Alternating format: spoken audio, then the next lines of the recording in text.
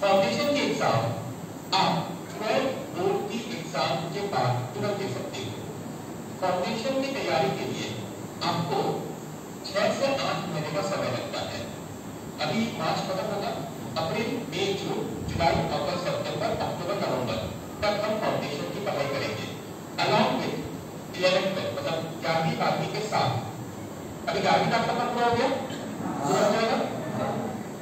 अभी बारहवीं तक सब आएँगे?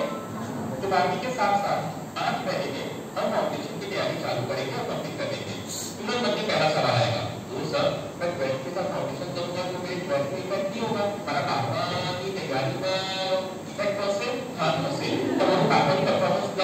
calculus.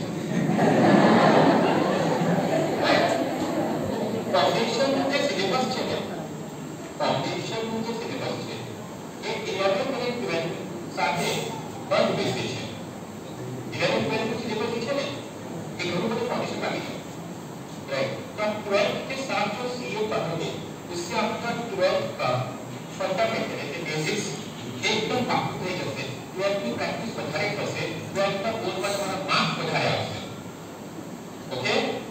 અને બોર્ડની એક્ઝામના 4 મહિના પહેલા આપણે સિલેબસ સીએ નું પૂરું કરી દઈશું ફાઉન્ડેશન નું તો છેલ્લા 4 મહિને તમારે માત્ર બોર્ડની એક્ઝામની પ્રેક્ટિસ કરવાની રહેશે ઓકે હવે બોર્ડની એક્ઝામ પૂરી થશે માર્ચમાં એના પછી મેમાં તમારી એક્ઝામ આવશે ત્યારે પણ